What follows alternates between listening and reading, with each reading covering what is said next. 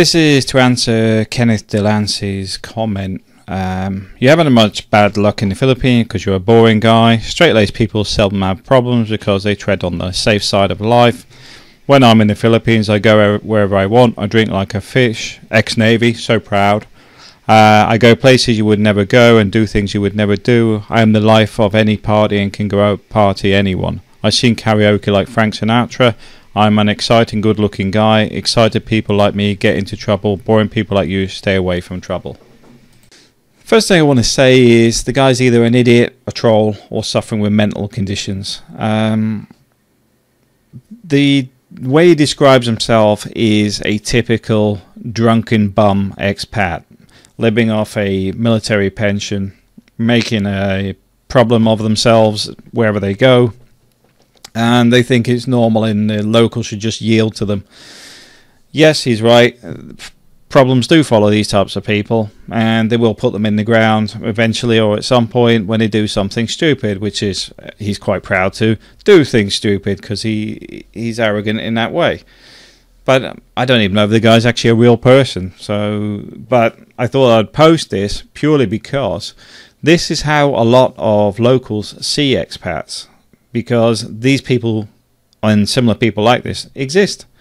Um, they are what used to be the problem in the Philippines. This is why you, when the US are helping with aircraft carriers and stuff in the region, a lot of locals will actually protest them uh, against them actually coming into the Philippines waters because um, they don't want them.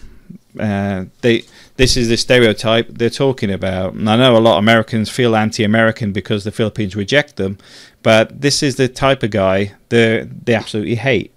Um, but this will be the one and only post I'll bother with this guy. But I thought I would share it because now you can see why sometimes Filipinos hate foreigners, um, predominantly Americans, by the way, purely because these guys are normally ex services that served in the Philippines previously and were using um, Manila, etc., for R and R.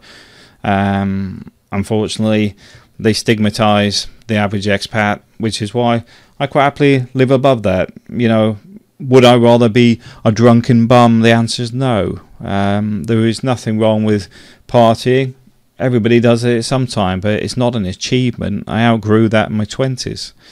Um, in the same way, doing what you want, going where you want, is what you know. Um, it's not about being boring or whatever, because these videos are one very narrow window of what I do in my life. There's a lot of stuff that I don't discuss on the channel. And I'm not getting into a contest because this is another thing. The, there is no contest between expats. There is no, oh, I'm better than you because it, it's irrelevant everybody has their own lives and do what they want.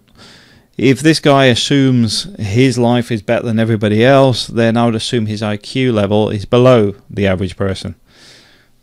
But does it affect me? The answer is no. But like I say, I just wanted to show this comment, but also just to put things in perspective, when you see people look at you as if you're um, abusive, drunk, and they expect you to shout at them or stuff, it's because of people like this.